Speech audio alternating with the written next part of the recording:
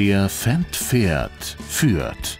Dieser Slogan gilt für die Fangemeinde der Fendt-Schlepper bereits seit vielen Jahren. Das Traditionsunternehmen aus dem Allgäu stellt seit 1930 Traktoren her.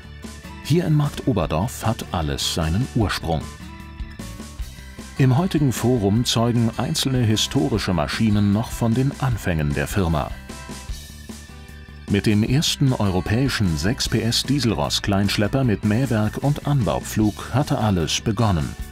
Der Einzylinder-Viertaktmotor mit 553 Kubikzentimeter Hubraum war für 1930 schon ein echter Meilenstein. Einen richtigen ersten Höhenflug erlebt Fendt dann in den 1950er Jahren. Der wassergekühlte F-20 beispielsweise gehört zu den meistverkauften Großserienschleppern der Mittelklasse. Und so nahm alles seinen Lauf. Bis zum heutigen Tag stellt die Erfolgsmarke Fendt einen gewichtigen Namen dar. Neben der neuen Landtechnik haben aber gerade auch die historischen Fendt-Schlepper viele Anhänger und Liebhaber.